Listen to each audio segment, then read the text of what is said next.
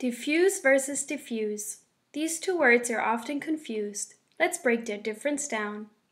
The word defuse is a verb and means to make a situation less tense or harmful, such as here. The teacher's quiet voice helped to defuse the situation. Diffuse is also a verb, but means to spread over a wide area. An example sentence would be, the toxic pollutants diffuse into the soil.